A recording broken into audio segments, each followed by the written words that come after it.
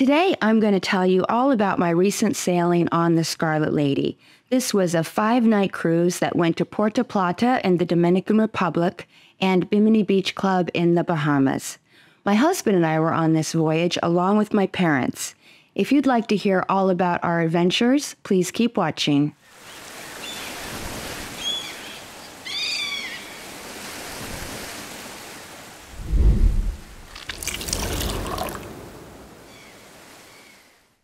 Everyone. I hope you're having a splendid day. And if you're new here, welcome. I am super excited about this video. I have sailed with Virgin on the Scarlet Lady a few times in the past, but we had a lot of really unique experiences this time around. Some of the highlights were going to a private party in a mega rock star suite, seeing the Scarlet Lady meet its sister ship, and going on a catamaran cruise in Puerto Plata. But this sailing wasn't without a few minor hiccups. I have a lot to cover, so without further ado, let's dive in. Before we get into the details of the cruise, let's look at the moment when the Scarlet Lady met the Valiant Lady. They made an announcement about this on the ship so that we could go on deck and see the Valiant Lady. Let's watch the video.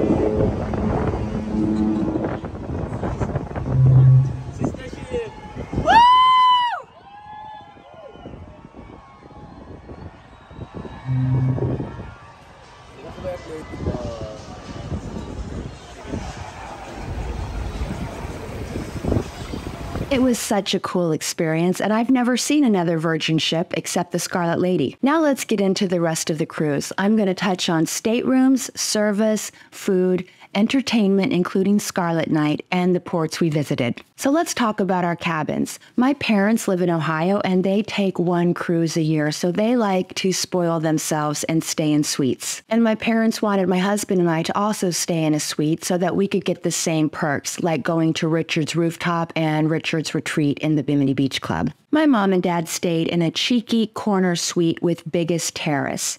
Their cabin was really cool. The stateroom wasn't huge, but it was a good size with a bed and a small sitting area.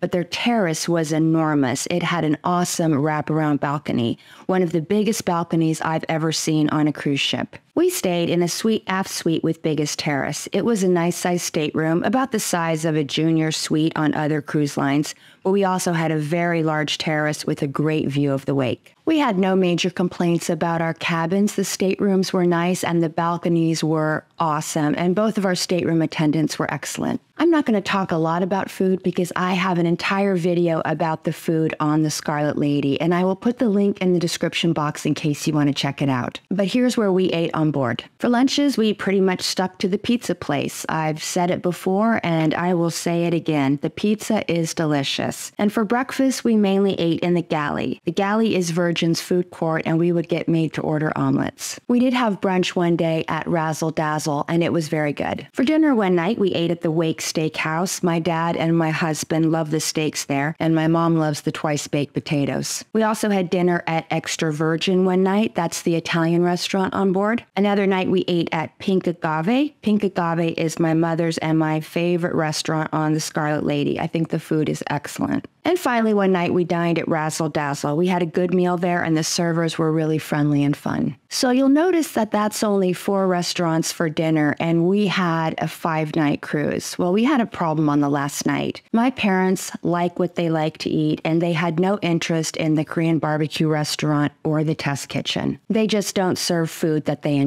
On a previous cruise with my parents, where we also stayed in suites, we simply asked our rockstar concierge to please get us a reservation at one of the restaurants that we've dined at before, and it wasn't a problem. But this time the answer was no. We couldn't get a reservation in any other restaurant. If we wanted to try and eat there, we would just have to go down and take our chances that something would open up. Basically, you can only eat in each restaurant once. This sailing wasn't at capacity either, by the way. Not a huge deal, but I wanted to point this out in case you are staying in a Rockstar suite. I don't know if this is a new policy or an existing policy that they are now strictly enforcing. But like I said, on our last cruise, it was absolutely no problem. And this cruise, it was a no. So we thought, okay, why don't we have dinner on my parents' terrace in the suite aft suite with the biggest terrace? That balcony was awesome. We figured we would just have dinner there. So we asked our Rockstar concierge on the first night if we could possibly get a table for four on the last night.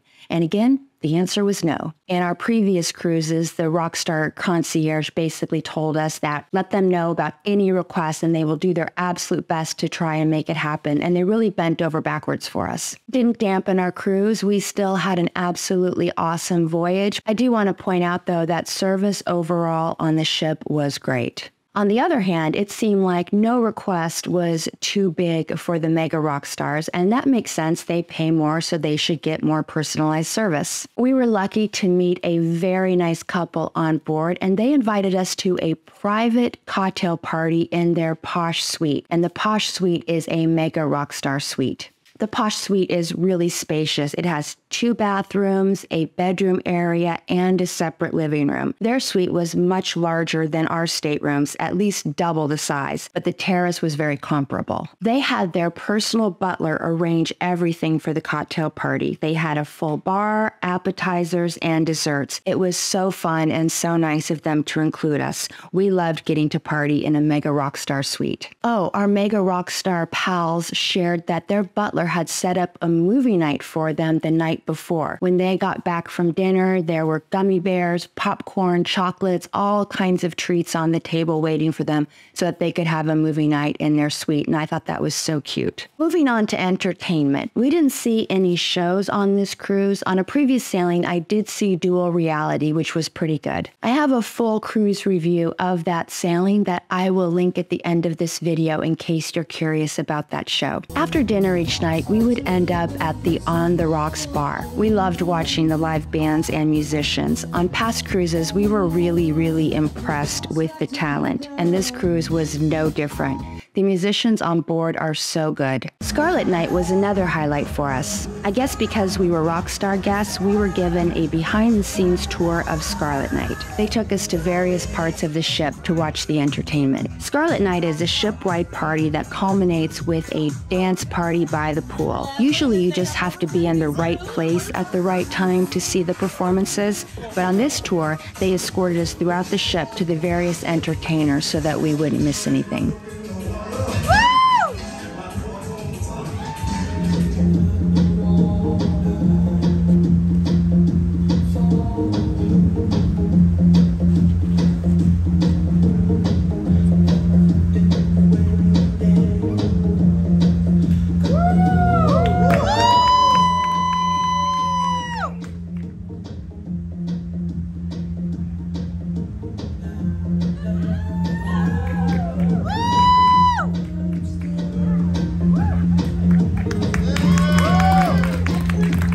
Let's talk about the ports. In Puerto Plata, we took a catamaran cruise that we booked through Virgin. We took an open air bus to the boat. It was about a 30 minute ride from the port, and a large portion of the trip was on a dirt road. It was an interesting ride. The weather when we set out on the boat wasn't great. It was a little rainy and a little windy, but the weather eventually cleared up and we had a good time snorkeling. By the way, the crew members on the catamaran were so much fun. The rum punches were flowing and it definitely had a party vibe. The snorkeling wasn't the best, but it was pretty good and we did see a lot of fish. I would recommend this excursion if you enjoy snorkeling. But just know it's a pretty bumpy 30 minute ride each way. If you don't book an excursion, I do recommend getting off the ship and exploring the port. The port area has a beautiful swimming pool and some bars, restaurants, and cute stores for shopping. These are all very close to where the cruise ship docks. I have a video all about the Puerto Plata cruise port, which I will link in the description box below for you. And moving on to our other port, Bimini. We spent a few hours at Bimini Beach Club. As usual, it was a lot of fun. We had a few drinks, relaxed, and enjoyed the beach. And we had some lunch. Then we did something new that we haven't done on past cruises. We rented a golf cart for $80 and explored the island. To do this, all you have to do is hop on the complimentary tram and ask the driver to stop at Fisherman's Village. That's where you get off. You might want to mention to the driver that you plan on renting a golf cart. That way he will be sure to stop at Fisherman's Village, but they usually do. Riding around the island on the golf cart was a lot of fun. A lot of the buildings in Bimini look run down and it can appear a little bit sketchy, but Bimini is actually very safe. Renting a golf cart is a fun way to explore some of the other beautiful beaches on the island. So that's my review of our sailing. And overall, we had a wonderful time and it was so nice to spend quality time with my parents who I don't get to see very often. I did want to mention that Virgin had a really good deal to rebook when we were on board. We did end up rebooking. We booked a corner suite on a seven night cruise next January out of San Juan and we paid $4,200, which isn't too bad but they did give us $600 in bar credit plus $600 onboard credit. So it was a pretty good deal. If you are on a sailing and you think you might want to cruise with Virgin again, you may want to look into booking on board. I hope you enjoyed this video. If you did, give it a thumbs up and I'd also like to invite you to subscribe to my channel. I have a few more Virgin videos coming up and I would absolutely love it if you would join my traveling party. If you'd like to talk Virgin cruising with me just a little bit longer, I will link to videos at the end that I think you might like. The top video is the full cruise review of my previous sailing. And the bottom is seven secrets of the Scarlet Lady, where I give you some of my best pointers to help you have a better cruise. Have you sailed on the Scarlet Lady? Did you enjoy your cruise? Leave me a comment below because I would love to hear all about it. Until next time, I hope you have happy and safe travels. I appreciate you and thank you so much for watching. Bye.